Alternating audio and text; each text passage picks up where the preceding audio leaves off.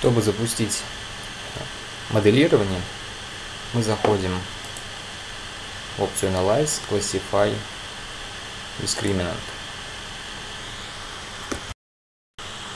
Группирующая переменная – это и зависимая переменная, а независимые переменные – это, собственно, наши предикторы. После того, как переменные перенесли слева направо, устанавливаем диапазон для зависимой переменной. Установили.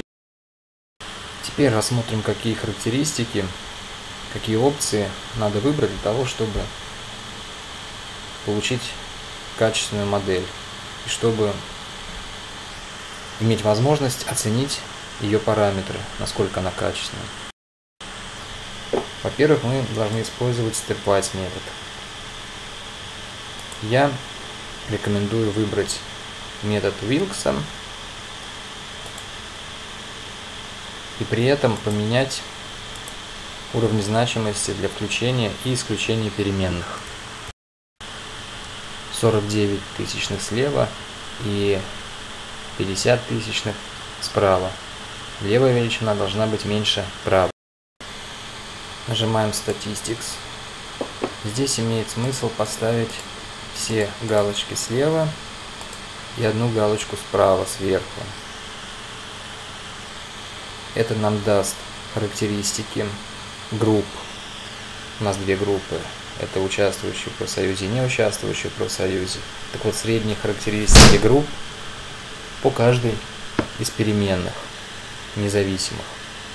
Это нам покажет по каждой из переменных ANOVU или AMDU Илкса.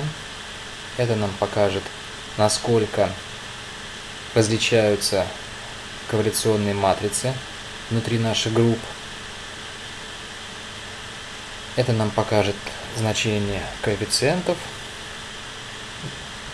И здесь мы задаем, что наши результаты будут опираться на работу с внутригрупповыми корреляциями. Заходим в Classify. Здесь выставляем две галочки слева. Они нам позволят посмотреть а, общие характеристики, общие параметры качества модели. И оставляем пока что опцию верхнюю, Within Groups. То есть мы предполагаем, что корреляционные матрицы внутри групп равны. Если они не равны, то мы должны будем попробовать вот эту опцию. Если мы хотим получить